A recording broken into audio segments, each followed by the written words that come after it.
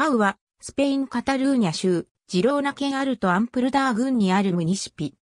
ムガカー流域の谷に位置し、ローダス山地の南側斜面にあり、領域内で起伏の激しい地域は、カップダクレウス自然公園に、そして平の部分は、アイグアモルスダランプルダー自然公園の一部を構成している。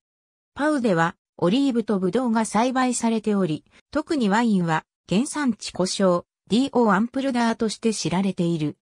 ローダス山地には、ドルメンなどの巨石記念物が残されており、このことによってこの地には、数千年に遡る歴史があることが確認されている。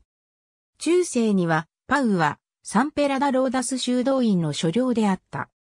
自治体首長は集中と統一のジュゼップ・ブランク・ダルマウで、自治体評議員は集中と統一5 PIC にとなっているパウは、フィゲーラス司法管轄区に属す。ありがとうございます。